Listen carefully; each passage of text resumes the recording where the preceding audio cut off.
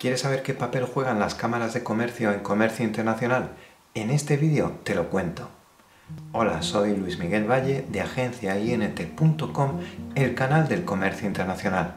Las cámaras de comercio son organismos empresariales presentes en numerosos países que tienen principalmente dos objetivos. Ayudar a crear y desarrollar empresas, promoviendo y favoreciendo relaciones comerciales y ventas, y en segundo lugar, crear un espacio en torno de relación entre las empresas. En la actualidad existen dos tipos de cámaras de comercio. Aquellas que se asientan en una localidad, región o zona de un país y que representan a las empresas de ese área. Y por otra parte, las cámaras que establecen empresarios de dos países con el objetivo de promover las relaciones comerciales bilaterales entre esos países. Pese a que su funcionamiento y gestión varía de un país a otro, las cámaras de comercio tienen una serie de elementos comunes relacionados con el comercio internacional.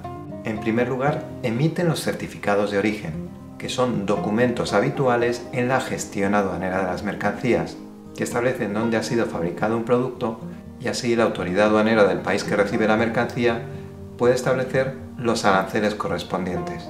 Generalmente el certificado de origen lo emite la Cámara de Comercio del lugar donde se asienta la empresa. Además, las cámaras de comercio de aquellos países firmantes del acuerdo ATA también emiten los denominados cuadernos ATA, utilizados en la exportación temporal de mercancías. En la mayoría de las ocasiones, las cámaras de comercio promueven de manera activa el comercio internacional de las empresas de su territorio.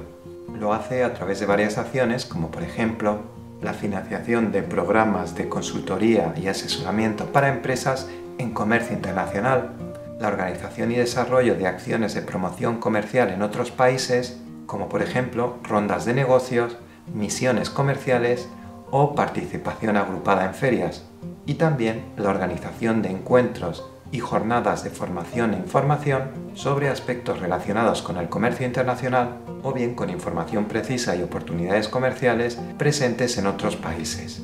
Además, generalmente las cámaras bilaterales, que son aquellas integradas por empresas de dos países, suelen prestar servicios de identificación de potenciales clientes o socios comerciales en el mercado donde está establecida.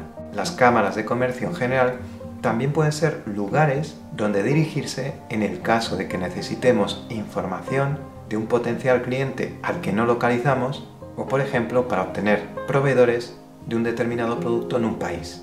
Confío que este vídeo te haya resultado de interés y espero verte en un nuevo vídeo. Gracias.